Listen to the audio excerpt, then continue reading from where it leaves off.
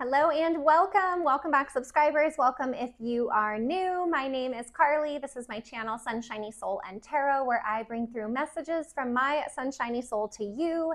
This reading is for Pisces, Pisces Sun, Moon, Rising, any strong placement of Pisces for January 16th through the 31st, 2024. Thank you for your likes, subscribes, and comments. We are building towards the full moon, which will be in Leo on the 25th.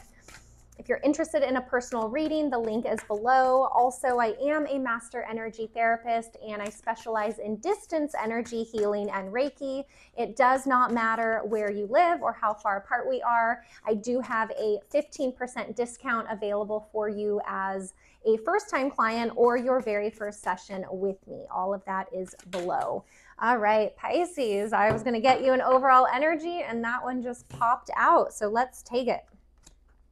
I love it, Pisces. You've got the overall energy of the frog spirit. Clear out the clutter. I am hearing this as a message for clearing out the clutter physically, mentally, emotionally, in all areas of your life. So, with the brand new year beginning, you know, we're still in the very first part of this whole new year ahead of us. So, clearing out the clutter is going to be really helpful for you in just cleansing your energy. So this can be cleaning out like the closets and the drawers in your home, maybe your desk or work area. You could be doing a cleanse or a detox for your physical body to clear out any clutter that is not needed. Uh, it could be a spiritual or a mental clutter clean out. You know, you could be meditating more, being more aware of your thoughts and your thinking, and are they in alignment with what you want? So, this is a really powerful message because it can be applied to literally any area of your life. So, you've got the frog spirit, clear out the clutter. Let's get the other messages out here, the other cards.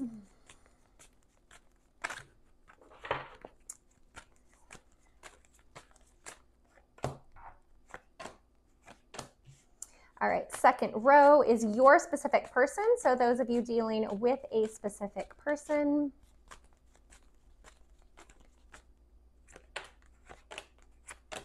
What do we need to know about their energy? And third and final row is clarifying messages for you.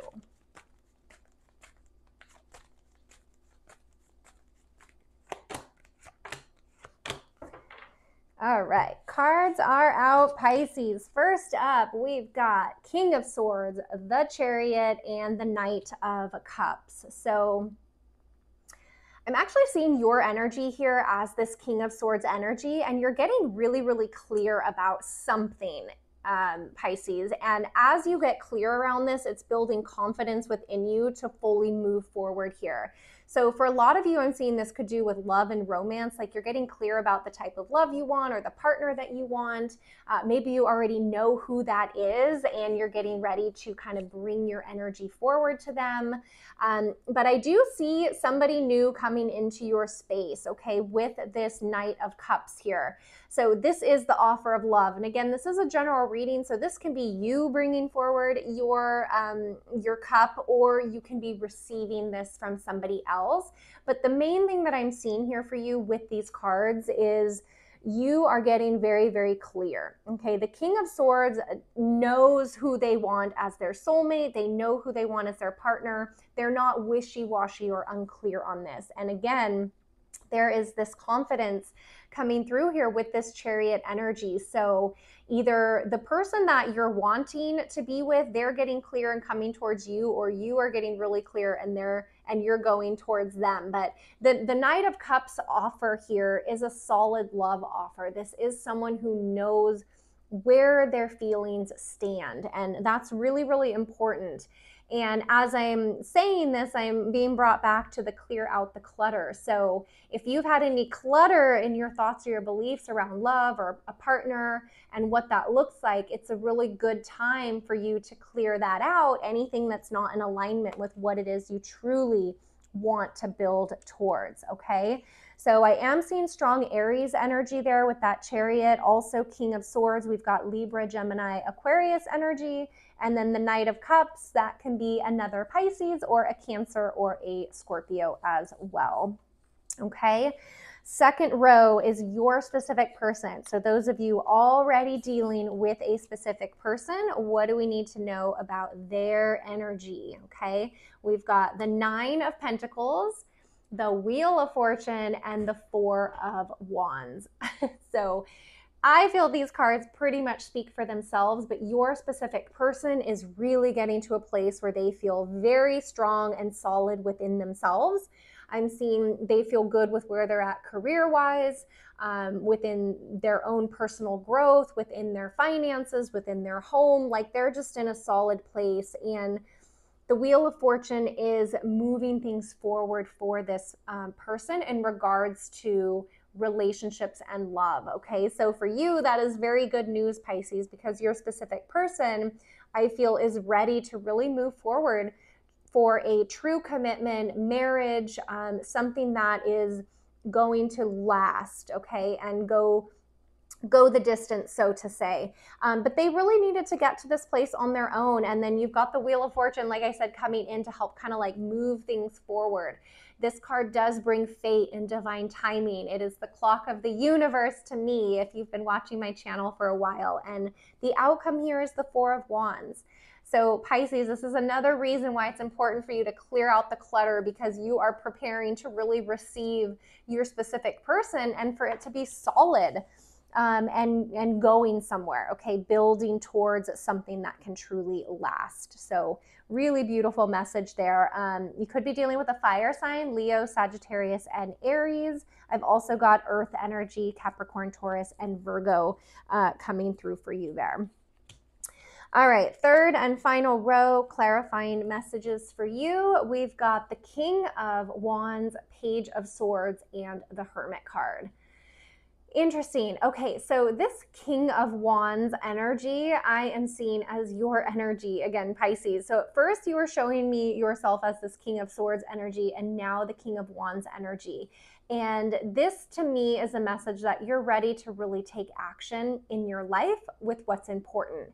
With the Page of Swords here, there is communication that is really needed from you. So uh, this page of swords is the messenger, and there is something that you need to communicate to um, someone important in your life. This can be a family member or even in regards to work, but you taking action and communicating here, there is a bit of a spiritual lesson and growth for you. So if sometimes you just brush things aside or you, you know, uh, sweep things under the rug. There's something here, Pisces, that's coming through that you really need to address this. And when you address this, you are going to feel so much better and you're actually going to grow and kind of expand past a level that you've been at in regards to like avoiding things I want to say. Okay. So, really interesting message here, but you're ready to take action and the the page of swords is kind of the buzz in your ear. It's telling you exactly what you need to do and what action steps you need to take. And the hermit card is here just shining the lantern into this lesson for you and into what really needs to happen. Okay so don't ignore that. Be open to that. Clear out any clutter that may be in the way for you wanting to receive this from spirit. And um, you know, to move forward with the action. Okay. So beautiful message. You could be dealing with a Virgo. We've got Virgo energy here with the Hermit. Um, I mentioned fire, Leo, Sagittarius, and Aries, and then um, other Earth, possibly Capricorn and Taurus as well, and then other water. So it could be another Pisces or a Scorpio or a Cancer that you are dealing with. Okay. Let's get you another message here. Okay, you've got friendship, Pisces, which I know friendships are always very, very, very, very important to you. So, as you're focused here on growing this relationship and deepening this romantic connection, make sure you are still remaining in contact with your friends and those solid people around you. Okay, they want to love you and they want to support you in this. So, I'm seeing that as just like, a friendly reminder to keep in touch with your friends as you're going through uh, whatever it is that you're going through because it does look like these next couple weeks you're going to be kind of facing a lot in a good way okay Let's get you a spirit animal message. Ooh, you've got the coyote, revealer of truth. Don't take things too seriously. Make time to play. Great wisdom comes from laughing at your own folly. Look out for the traps and tricks of life and learn from them.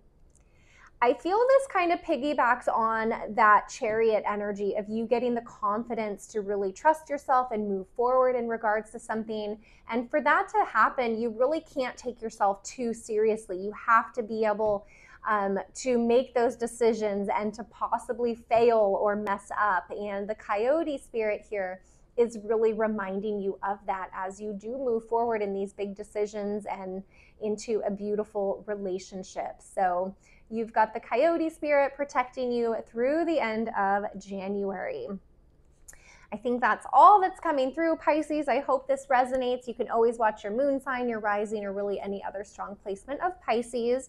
Thank you for your likes, subscribes, and comments. And again, if you missed the intro, I am a master energy therapist. I specialize in distance energy healing and uh, Reiki. So it does not matter where you live or how far apart we are, you will see there is a 15% discount for you um, as your very first session or as a first time client. So you're welcome to take advantage of that if you feel called to do so. Otherwise, I'm wishing you a beautiful finish to January, and I will see you guys back here on the next video. Take care.